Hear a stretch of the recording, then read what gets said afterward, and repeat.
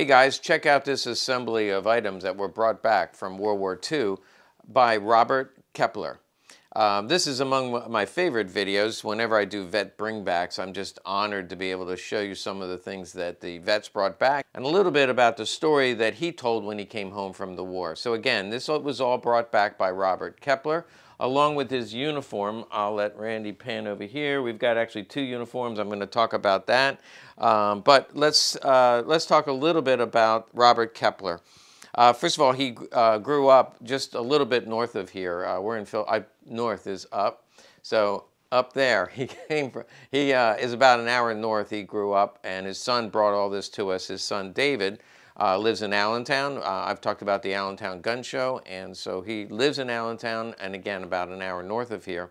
Uh, he brought all this from his dad. His dad served in the U.S. Army in the 80th Infantry Division, which was part of uh, Patton's Third Army. He did not participate in the invasion in Normandy, but soon thereafter he joined a unit as a replacement, uh, part of the Big Red One. We'll talk a little bit more about that.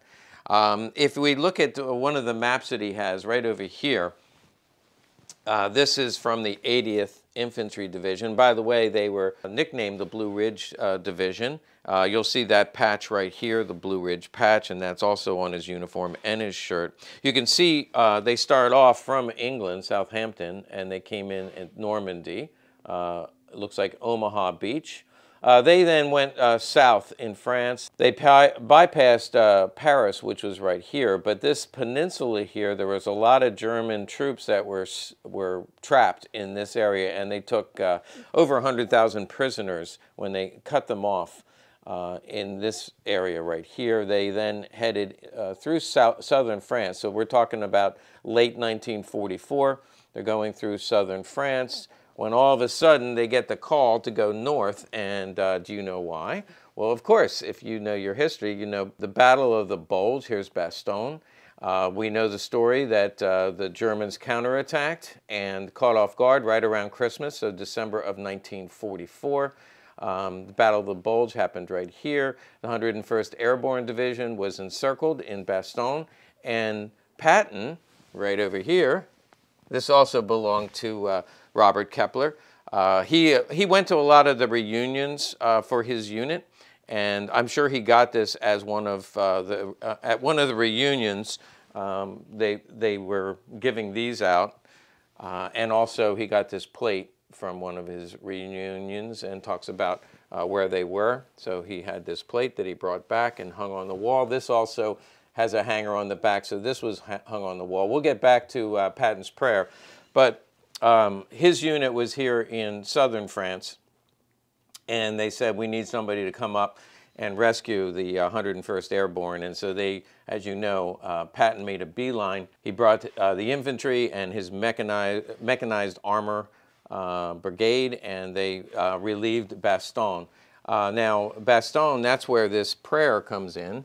Uh, again, if you watch the movie Patton, you'll see that uh, General Patton, they were having, having a hard time getting there because it was snow and ice, uh, mud, uh, and they couldn't do any drops. They couldn't drop any supplies to the 101st, all the, all the men that were trapped.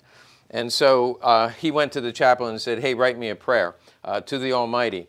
And so this is the prayer, and they were they were all given, all the men were given a copy of this.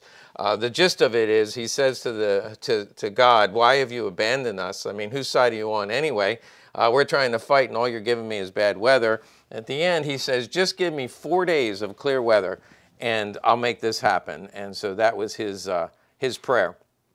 Uh, they call it the miracle of Patton's prayer because the next day the sun came out and they were able to drop supplies. We'll say more about that. But, well, most importantly, the fighters and bombers were able to come in and, and take on the, uh, the Germans. Uh, but they also resupplied the 101st with food and clothing and medical supplies that were desperately needed. Okay, let me go to, uh, again, as Robert Kepler, let me go to his uniforms. He does have a white scarf over here. I'm going to talk about that. This was the blue scarf that went with the, uh, the, blue, the Blue Mountain Brigade. Uh, you can see that he was a private. Uh, you also see these unit citations. I'll talk about those a little bit. Um, and you can see an honorable discharge. And I'll talk about the different awards and medals that he got. uh, when I read his story that was written by his son. You see the Big Red One. Uh, so as being part of the Big Red One, I believe this is the shoulder braid uh, for that presidential unit citation. So this is a presidential unit citation. Everybody in that unit got this shoulder braid. Um, but he also, uh, when the war was over, he stayed in Germany and up to a, it was at, at, well, it was over a year later, the Nuremberg trials. He was also a part of the Nuremberg trials. And this is a unit citation. I believe, I might have them mixed up. I actually searched on the internet, had a hard time finding these. Uh, but I believe this is for the Nuremberg trials, and this is the unit, uh, unit citation, presidential unit citation. Now, interestingly, this uniform behind here, this just came in recently. Hold on, along with this. So this is his shirt. Um, and by the way, you can see a 14 inch neck and 32 inch waist. He's skinny guy, but we all were back then, weren't we? He was a young guy when he served in 1944. You can see the, the, the Blue Ridge Mountain Brigade and the uh, Big Red One. Uh, there's his shirt and his overcoat jacket, not overcoat, but jacket. Interestingly, five years before this came in, this man came to our office and uh, he has the same blue onward and upward badge, uh, has the same unit citation. He has the same uh, infantry badge, uh, infantry uh, rifle medal, um, similar ribbons. Now, I believe he's a sergeant. You see the big red one. He is not part of the Blue Ridge Mountain, but this guy was about six foot two, tall and thin. He was about 90 years old when he came in. He brought this uniform and said, would you be interested in buying my uniform? I said, don't you have anybody in the family who wants it? And he goes, no, nobody wants it. And I said, well, we'd be honored to have it. So I, uh, I paid him for the uniform and I put it up here in a place of honor. We've had it here ever since. And five years later, uh, the son of this man brought us this uniform. So I think they go well together, uh, don't you?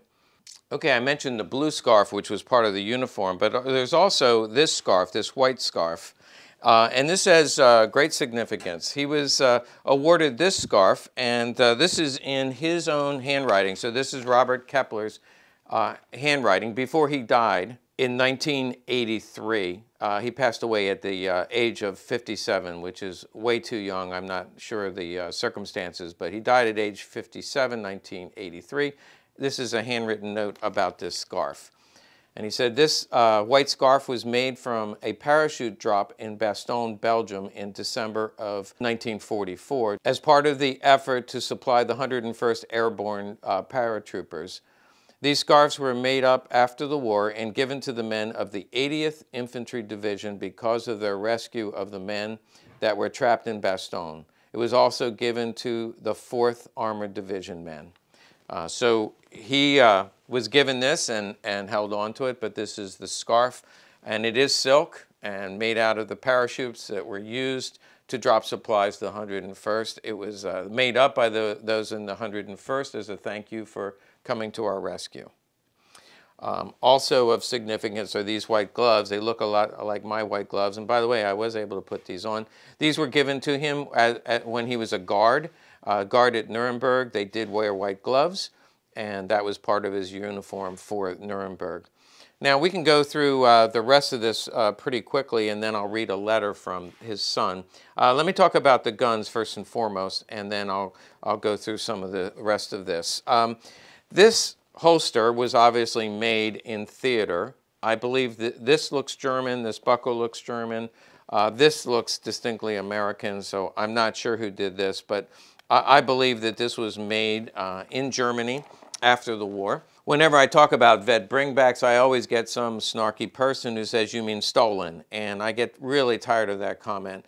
Um, mostly because the, the majority of the things that I see brought home from, by the families, brought here, were picked up after the war and were bought as souvenirs. Again, the Germans were selling anything they could to revive their economy and quite frankly pay for food and clothing.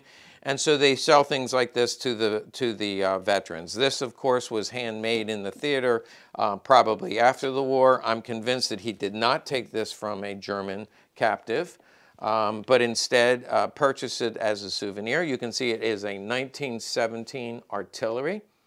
Uh, the artilleries are also considered the parabellum long barrel.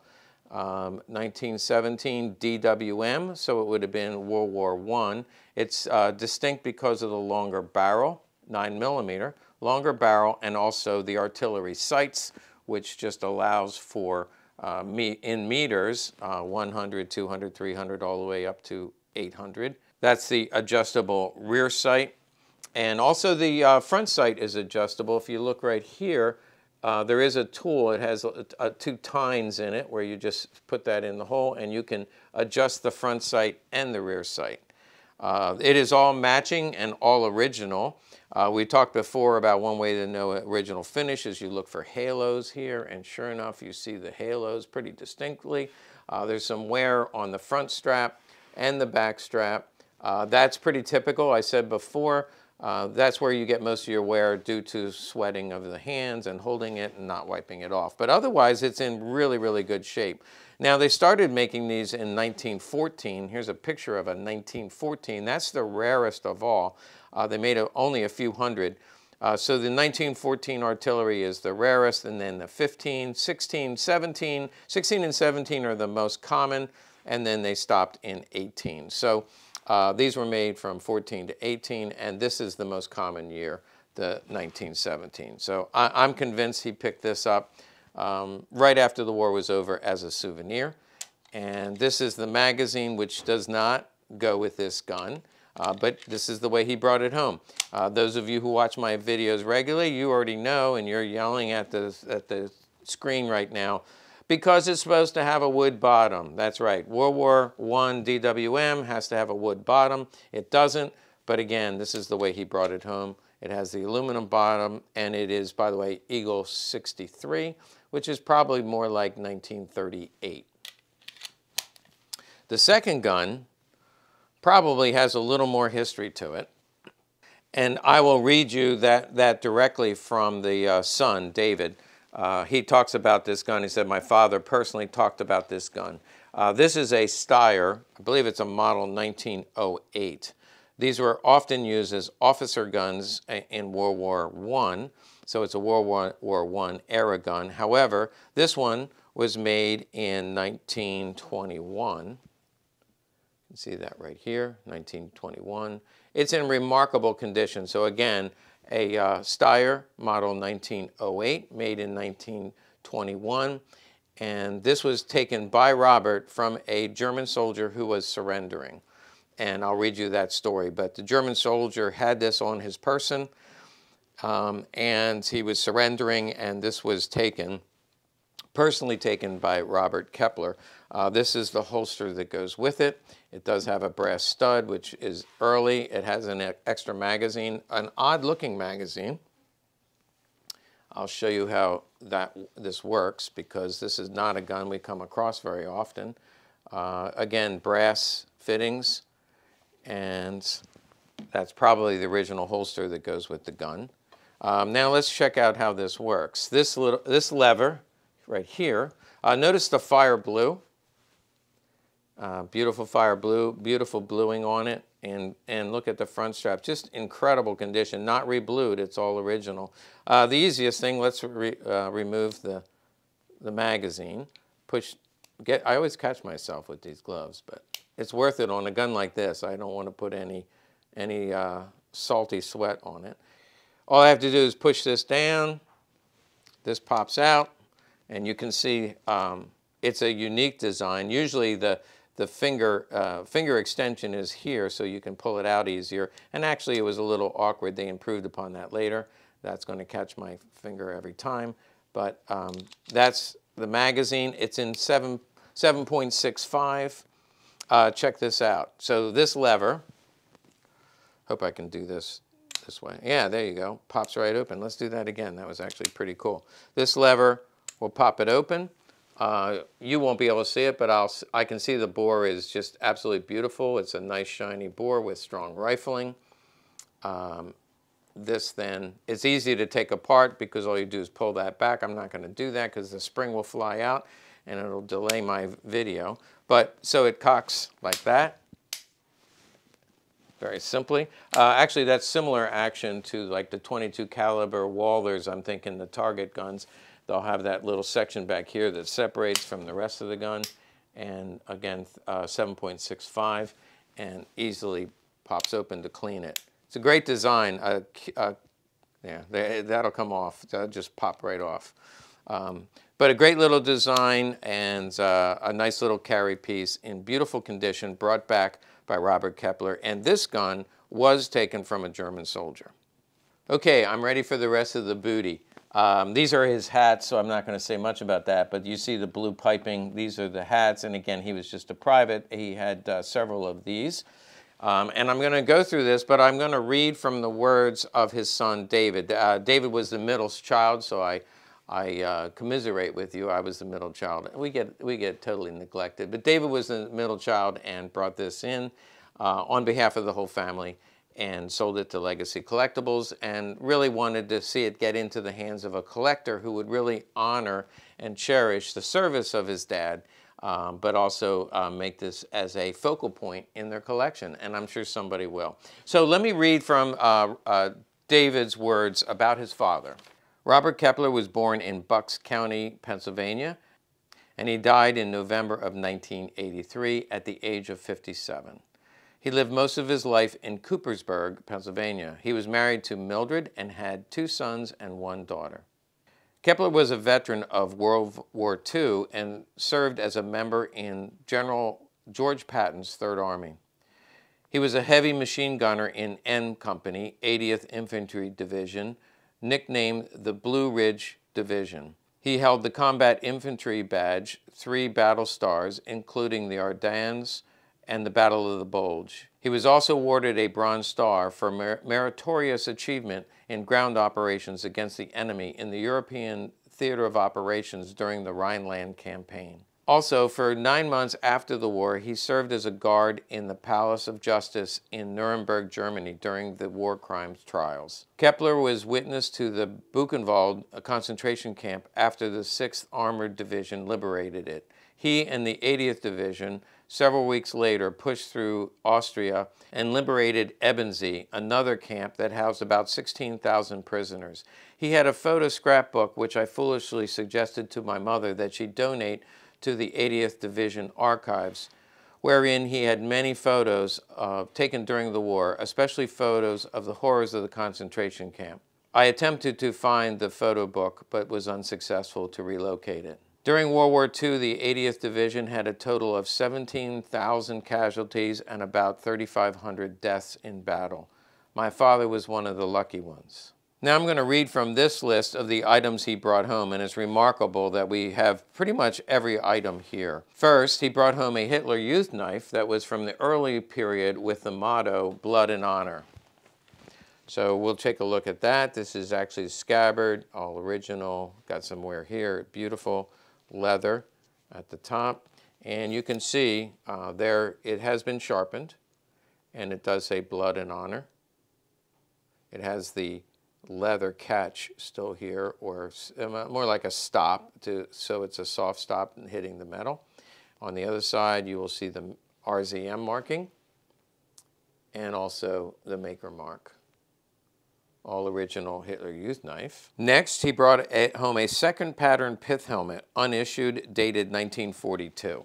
Uh, we've shown these before, and we've sold these on our site. This is in unissued condition. You can tell by the, the leather inside. I've often commented that these can't be real. These must be reproduction because they look brand new. But evidently, Germany had a lot of these. I, I, we've had three others where the vets said, they would just go to local shops and they had unissued ones uh, that were brand new condition and the vets would bring them home as a souvenir because they're very, very cool and they do uh, signify uh, the Afrika Korps, uh, which uh, under Rommel was a very storied unit as well.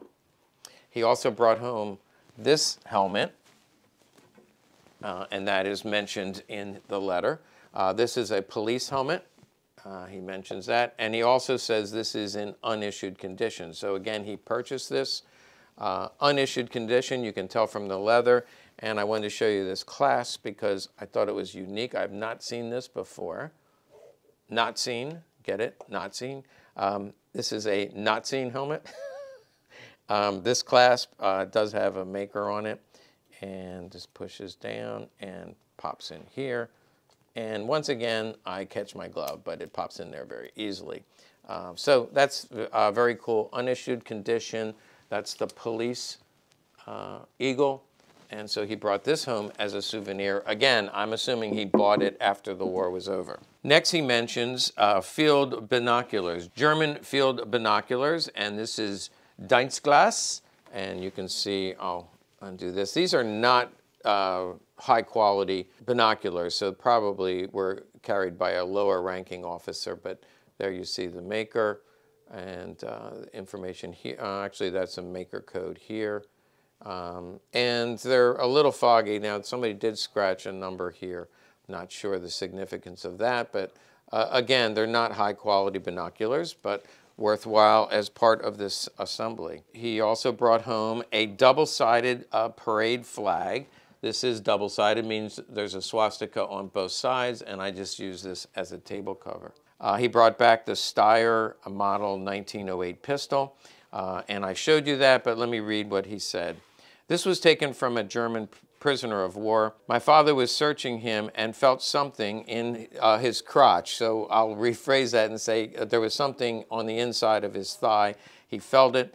Um, he uh, took it from him, and it was this pistol that was uh, strapped to his uh, inner thigh. He says, My father uh, told me the story personally, and he said, I likely saved the life of a soldier who was going to march the prisoners of war back to the rear.